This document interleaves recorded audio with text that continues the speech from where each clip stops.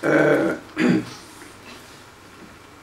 άλλου, άλλους όρους που είναι πολύ χρήσιμοι είναι το ποιό, η ποίηση, από όπου βγαίνει και η λέξη ποίηση.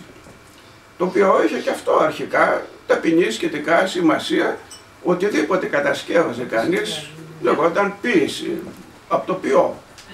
Και βέβαια η πρώτη σημασία ήταν πάλι αυτά που έκανες με το χέρι σου. Εδώ περισσότερο ακόμα, όχι περισσότερο, εξίσου με την λέξη τέχνη, η ποίηση σημαίνει ε, κατασκευή. Ποιό κατασκευάζω. Ε, αργότερα προστίθεται η ποιοτική χρειά στην λέξη ποιό. Όταν λες, είναι αρχαία έκφραση, ποιό διθυράμβους ναι. ή ποιό τραγωδίας ή κομμωδίας, εκεί βέβαια ε, για τον μέσο αρχαίο, τεχνίτης και ο ένας, τεχνίτης και ο άλλος. Ο μεν ένας απέβλεπε στην χρήση να κάνει χρηστικά αντικείμενα, ο δε άλλος να κάνει ευχάριστα αντικείμενα, ώστε προσθέτω το ευχάριστο στο ωραίο και στο ελκυστικό, που είναι τα στοιχεία της τέχνης, που την διαστέλουν από τη φιλοσοφία. Η φιλοσοφία δεν προσπαθεί να είναι ιδιαίτερα ευχάριστη ή ελκυστική. Δεν είναι η βασικός στόχος της φιλοσοφίας να είναι ευχάριστη. Ναι. Μπορεί πολλές φορές το αντίθετο να είναι δυσάρεστη σε πολλά όταν σου αποκαλύπτει ότι δεν βαδίζεις σωστά ή εσύ ή η συνοδοιπόρους σου ή η κοινωνία δεν βαδίζει σωστά. Η φιλοσοφία μπορεί να είναι δυσάρεστη, η τέχνη δύσκολα να είναι δυσάρεστη, αν και τον 20ο αιώνα βρέθηκαν και καλλιτέχνες που καλλιεργούν τι, την ασχήμια. Έχω ως παράδειγμα, βέβαια δεν, έχω, δεν μπορώ να κάνω προβολές, κάποιος Γάλλος Βλαμένκ, ο οποίος κάνει αντιπαθητικές φιγούρες σκοπίμως. Δεν, δεν είναι ότι δεν μπορεί να φτιάξει ένα ωραιότερο πρόσωπο, αλλά άμα δείτε τα έργα του είναι αποθετικά. Λαμμένα. Αλλά το κάνει σκοπίμως. Για να πρωτοτυπήσει πιθανόν. Ε, όχι. Ε, επειδή όλοι κάνουν ομορφιά, ε, πολλές φορές ε, από αντίδραση, από πνεύμα αντιλογίας, σου λέει όλοι κάνουν ομορφιά, εγώ δεν κάνω ομορφιά. Κάνουμε ασχήμια. Απλώς ποιό κάτι. Ποιό. Έχει να δώσει ένα ισχυρό μήνυμα σε σχέση με την ασχήμια που είναι και αυτή μια πραγματικότητα της ζωής. Πρέπει να πούμε ότι και. Δηλαδή δεν είμαστε απαξιωτικοί και σε αυτό. Δεν είναι τα πάντα η ομορφιά στη ζωή. Ο Πικάσο ήταν χειρότερο. Βασικά η ομορφιά είναι σχετική. Λοιπόν. Ακριβώς. Όχι που ισχύει και αυτό. Η ομορφιά είναι. Εν πάση περιπτώσει, μία από τις επιδιώξει της τέχνης είναι και η ομορφιά. Ε, Πρέπει όμως, ε, γιατί δεν έχουμε δυστυχώς πολύ χρόνο και συνεπώς θα πηδώ πολλές φορές από το ένα στο άλλο αναγκαστικά, γιατί προσέξτε, αυτές οι σύντομες συναντήσεις που έχουμε δεν διαφέρουν από το να έχεις μια εγκυκλοπαίδεια ολόκληρη και εγώ να σας λέω μόνο τους τίτλους του, του, του τόμου. Τόσο συνοπτικά είμαι υποχρεωμένος να είμαι. Γιατί κάθε φράση που λέω ενέχει ολόκληρη ναι. σειρά βιβλίων, δηλαδή θα μπορούσε να αναπτύξει.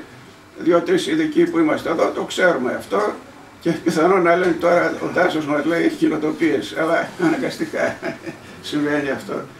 Λοιπόν, αλλά είπαμε η τέχνη υποτίθεται ότι επιδιώκει την ομορφιά, επιδιώκει το ελκυστικό, επιδιώκει το ευχάριστο και ούτω καθεξής. Είναι μόνον αυτό. Ο Όμηρος μόνον αυτό επιδιώκει. Ε, δεν το θεωρώ παρέκβαση γιατί θα, θα πω μερικά πράγματα ουσιαστικά. Γιατί όλοι μπορεί να θεωρούν ότι ο Όμηρος είναι καλός γιατί έγραφε ωραίους στίχους, γιατί έκανε ζωντανές μορφές. Ο Όμηρος, ε, όπως λέει ο Ισχύλος, είναι ο πατέρας της τραγωδίας, που είναι, η τραγωδία είναι σαφώς λογοτεχνία ιδεών. Ιδέες αναπτύσσει η λογοτεχνία. Ποιος είναι ο πατέρας, ο Όμηρος. Γιατί είναι ο Όμηρος πατέρας; Παρέκβαση κάνω εν γνώση μου, αλλά τουλάχιστον θα ακούσετε ουσιαστικά πράγματα.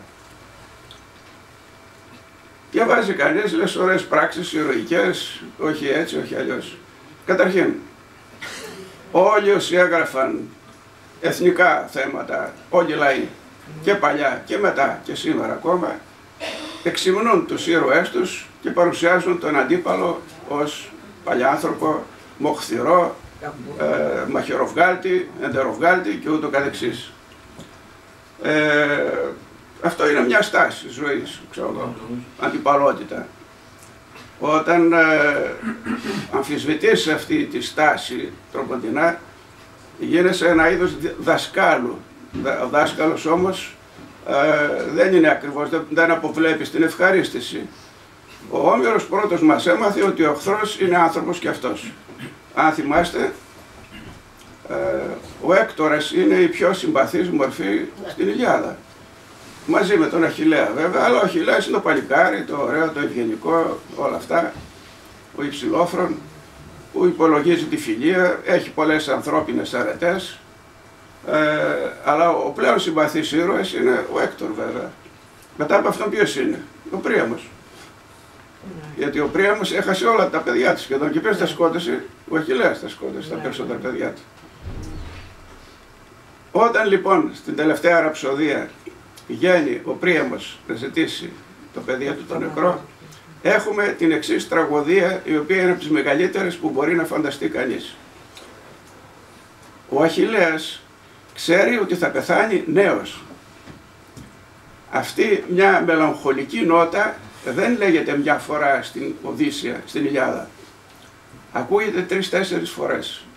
Με ευκαιρία ο Όμηρος υπενθυμίζει ότι ο, ο- είναι δηλαδή μια μελαγχολική νότα σε αυτή την ραψοδία, σε αυτή την, σε αυτή την όπερα αν θέλετε. Έχουμε δηλαδή έναν άνθρωπο που λυπάται που θα πεθάνει νέος, ξέρει πως θα πεθάνει νέος και αυτό δεν μας αφορά, αφορά όλους μας ε, γιατί όλοι θέλουμε να ζήσουμε, δηλαδή αγαπούμε όλη τη ζωή αναγκαστικά. Ε, Όπως λέει και ο... Τέλος πάντων δεν χρειάζεται ονόματα, όπως λέγεται κάθε τι που γεννήθηκε επιμένει στην ύπαρξή του. Είναι μια, ε, αυτό το ένστικτο της αυτοσυντήρησης, όπως το λέμε και κάπως λίγο λαϊκότερα, ε, το οποίο είναι κυρίαρχο στον άνθρωπο και συνεπώς ο Αχιλέας δεν αποτελεί μια εξαίρεση. Μας θυμίζει τον πόθο για ζωή. Συνεπώς είναι μια μορφή πολύ σημαντικότερη από το να είναι ένα παλικαράκι ισχυρό.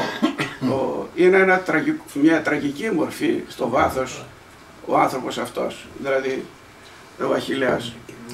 Και συναντάει ποιον; Πηγαίνει να τον βρει για να του ζητήσει το πτώμα του Ο Πρίαμος είναι. ο καταχτυπημένος από την πύρα Πρίαμος που δεν ήταν και ένοχος, ένας από τους γιους του ήταν ένοχος. Ναι, ακριβώς.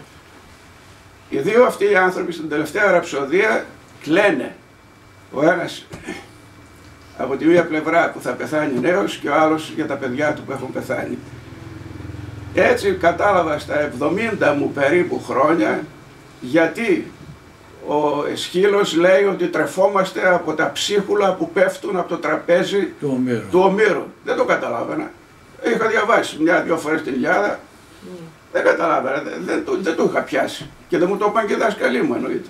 Γιατί άμα- αν μου το είχαν πει θα το θεωρούσα αυτονόητο. Συνεπώς έκανα μια παρέκβαση που το θεωρώ πολύ χρήσιμη. Αυτά είναι ιδέες, δεν είναι ομορφιά. Είναι τραγωδία, είναι μεγαλείο αυτά που λέω. Πρώτη φορά ο εχθρός γίνεται άνθρωπος. Τον μιμήθηκαν μετά από αυτόν, τον ακολούθησαν. Αυτό το επεισόδιο που σας διηγήθηκα είναι η απαρχή του δυτικού ανθρωπισμού. Αυτό να το συνειδητοποιήσετε. Από εκεί ξεκινάει ο δυτικός πολιτισμός. Ποιοι είναι αυτοί; Ο Ντίκενς, ο Ντοστογεύσκη, ο Τολοστόη, ο Βικτόρ Ουγκό. Όλοι αυτοί οι μεγάλοι εκεί στηρίζονται. Αυτός δημιουργήσει αυτό το κλίμα. Ο Εσχύλος πρώτος, ο οποίος είπε τι είπε, στους Πέρσες, αντί να βρίζει τους Πέρσες, να τους θεωρεί παλιανθρώπους κτλ, για να βρει ποια ανθρώπινη πλευρά, να βρει την ανθρώπινη πλευρά, τι έκανε. Πήγε στις μάνες των Περσών που θρυνούν για τα παιδιά τους.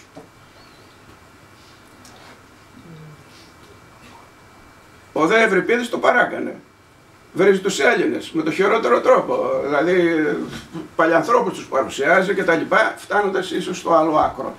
Αλλά όλα αυτά είναι στη γραμμή του Ομήρου, την οποία γραμμή σας περιέγραψα τους μεγάλους αυτούς και τον Σέξπιρ βέβαια ξέχασα, που είναι, όλοι αυτοί είναι παιδιά του Ομήρου τελικά. Ε, λέγεται, δεν είναι ανάγκη να εκφράζω συνεχώς τον θαυμασμό προς τον Όμηρο, το οποίο όλη η ανθρωπότητα έχει, αλλά θυμάμαι ρώτησαν κάποτε τον Χιμεγουέι Λέει, αν έπρεπε ένας να μείνει, ποιος θα ήταν; Ε, βέβαια, ο μεγάλος γέρος, λέει. Ένας να μείνει από όλη την ανθρωπότητα, τι να μείνει, είπε ο Χιμιγκουέι, που είναι ένας σημαντικός συγγραφέας. Φυσικά, ο μεγάλος γέρος, λέει, ποιος, ποιος να μείνει.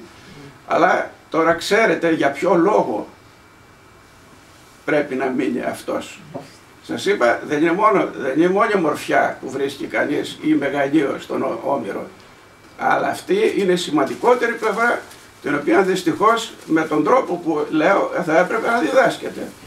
Εγώ έφτασα τα 70 μου, δηλαδή πριν από καμιά δεκαετία και τότε αντιλήφθηκα τι συμβαίνει. Λοιπόν, η δε τραγωδία είναι καθαρά λογοτεχνία ιδεών.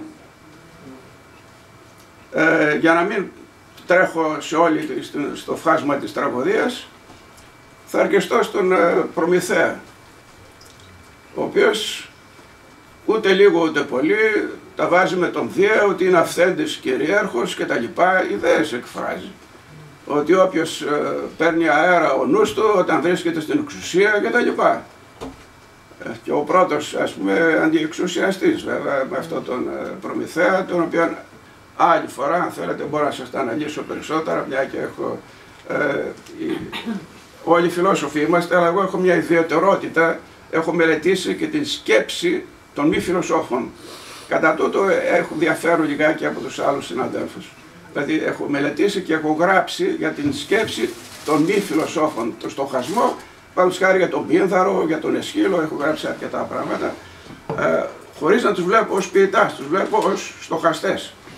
Συνεπώς ε, η τέχνη, ε, μην ακούτε ότι αποβλέπεις το συνέστημα. Αποβλέπεις το συνέστημα. Αλλά το συνέστημα είναι μέσον. Αποβλέπεις την ομορφιά, να είναι ελκυστική, να είναι ευχάριστη. Αλλά γίνεται μέσον. Δεν είναι αυτός σκοπός. Αυτός σκοπός έγινε πότε; Σκεφτείτε λιγάκι πότε έγινε αυτός σκοπός η ομορφιά. Που ξέφυγε εντελώς από τη ρίζα της τέχνης. Στο κίνημα η τέχνη για την τέχνη. Και μια και μιλάμε γι' αυτό και δεν φυσικά να- δεν προλαβαίνω να σας τα πω, θα ζητήσω εθελοντές ε, την άλλη φορά να μας πούν τα βασικά ρεύματα, κλασικισμό, ρομαντισμό, η τέχνη για την τέχνη, μοντερνισμό. Ε, κάποιος από εδώ, τρεις-τέσσερις έχω υπόψη μου, να αναλάβουν να μας πούν την άλλη φορά μερικά ε, για αυτά τα θέματα. Θα ήθελες ε, κάτι να μας πεις; Ναι, εσένα. δε. Εγώ δεν είμαι φιλόσοφος και εμένα. Δεν θέλει φίλος να μας πεις τι είναι ρομαντισμός, τι είναι κλασικισμός κτλ. Ορίστε. Ναι. Κάτι μικρό θα ήθελα να πω Ναι. εγώ σε, σε σχέση με την τέχνη. Ναι. Κάτι που έχει πει ο μεγάλος ο Κώστας ο Αξελός. Είχε πει ότι η τέχνη λέει πρέπει. Εγώ αυτό το πρέπει το, το ανερώ και Ναι. λέω ε, είναι. Ναι. Και μας έλεγε η τέχνη πρέπει να ενσωματώνει την ποιητικότητα του κόσμου που μας περιβάλλει. Εγώ λέω είναι. Αυτό πιστεύω τα λέει όλα. Τίποτα δεν λέει αυτό. Ναι, Και σήμερα. όμως τα λέει όλα. Ναι. Τίποτα απολύτως δεν λέει, διότι Επίσης δεν θα κάτι σε άλλο. ρωτήσω τι εννοείς ποιητικότητα. Δηλαδή, Ε, αν δεν ε, μπορούμε ξέρεις τι να κάνεις. διακρίνουμε την ποιητικότητα Αυτό που μας το περιβάλλει, σφάλμα λέγεται- Δεν μπορούμε να την περιγράψουμε. Αυτό μετά. λογικό σφάλμα άγνωστον δια του αγνώστου λέγεται. Αυτό και που κάτι έκανε άλλο- ο και κάτι Αξελός. άλλο που Μπορεί να είναι θέλω να πω, φιλόσοφος. κάτι που είχε Καλύτερα πει να τα ο- αφήσουμε, Κάτι που διότι είχε να πει τους πείτε ο παρόμοια. Σογκολόπουλος. Ναι. Ε, τον Ο είχαν Σογκολόπουλος. ρωτήσει γιατί- Ο Σογκολόπουλος. Ε, τον άστον είχαν- τώρα, μην πάμε εκεί πέρα. Μα για την τέχνη δεν μιλάμε. Ωραία, αλλά πες Δεν μια μιλάμε μόνο για το προτιμώ κόμμα, μια μιλάμε γνώμη οι δική υπόλοιποι, σου. Δεν είναι καλλιτέχνες. Μια γνώμη δική σου προτιμώ παρά... Πες, πες, πες, Για να φτάσω στη γνώμη τη δική μου θα πρέπει να πω και αυτά. πες το. Λοιπόν, ο Σογκολόπουλος τον είχαν ρωτήσει για το ποια είναι η άποψή του για την αντιγραφή. Εκείνος είπε δεν υπάρχει λέει αντιγραφή, μην ακούτε τέτοια πράγματα. Ε, όλοι, όλοι οι καλλιτέχνες Δημιουργούν. παίρνουμε από το κοινό. Η τέχνη είναι κάτι κοινό λέει.